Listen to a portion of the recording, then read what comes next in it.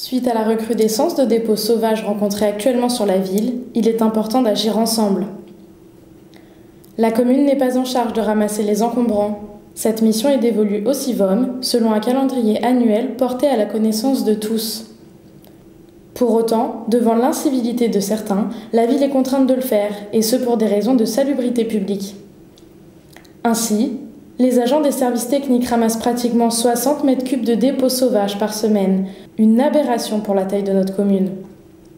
Et ce travail pénible supplémentaire empêche nos agents de réaliser leur propre mission d'entretien ramassage des poubelles publiques, nettoyage des rues, entretien des aires de jeu. Et ces défauts d'entretien nous valent des remarques de la part des habitants. Outre la pollution visuelle, ces débordements d'encombrants sur l'espace public sont également une source de pollution environnementale. Une pollution qui peut affecter les eaux et les sols par ruissellement et engendrer le développement de nuisibles tels que les rongeurs et les mouches. Aussi, merci de ne sortir vos encombrants qu'aux dates de passage du CIVOM et non pas parce que vous avez vu vos voisins le faire.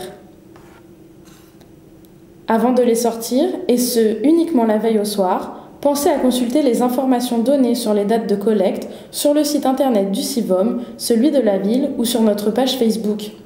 Vous en serez également informé via une notification si vous téléchargez l'application mobile de la ville. Et si vous ne pouvez pas attendre les dates du prochain ramassage, nous vous rappelons que la déchetterie de Moissy, rue Denis Papin, est ouverte gratuitement du mercredi au dimanche.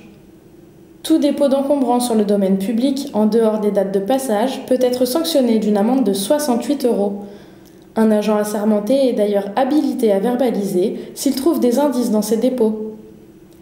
Les prochaines collectes d'encombrants ont lieu lundi 30 et mardi 31 juillet. Pour une ville plus propre et agréable, merci de respecter ces consignes.